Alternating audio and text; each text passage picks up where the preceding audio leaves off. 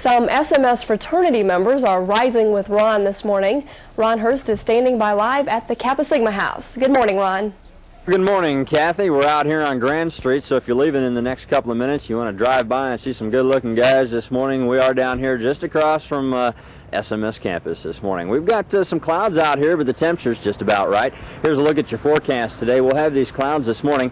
They'll thin out somewhat this afternoon. We'll call it partly cloudy skies. The daytime high up in the mid-70s. Tonight, under partly cloudy skies, the temperature will drop back to right around 60 degrees, and then for tomorrow, we'll have some clouds. We'll have some sunshine. There is a 30% chance of thunderstorms.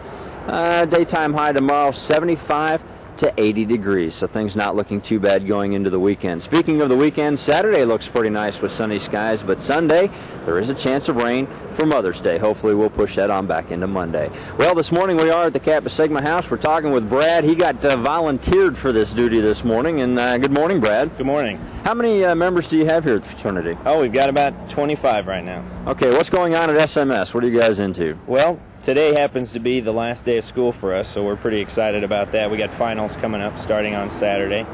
And uh, how are you going to do in these finals? You guys uh, cram sessions or uh, party sessions? Uh, a little bit of party session first, then we'll cram a little bit after that, sure. are you guys uh, planning anything for the summer? Uh, we've got several events planned for the summer. Of course, we've got summer meeting coming up, which will be around July when all of us will get back together here in Springfield, and we plan the upcoming calendar for next year. Okay, now what uh, kind of things have you guys done this whole year? I mean, what are you doing to wrap up the year?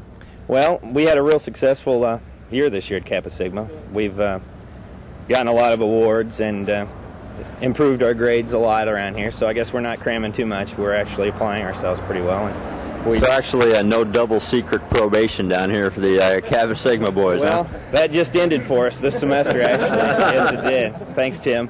Uh, yeah, we've we've we've worked a lot, and what SMS is trying to do is the fraternities as a whole, we're trying to uh, show the Springfield community that we're not just a bunch of partiers here, that our fraternities serve a purpose and we're, we do a lot of good for the community. Well, that sounds pretty good. I want to thank these fellas for getting up out here with our bright, shiny faces and being on Rising with Ron this morning. Thanks a lot, Ron. And from all of us at Kappa Sigma, we'd like to wish you good morning, Ozarks!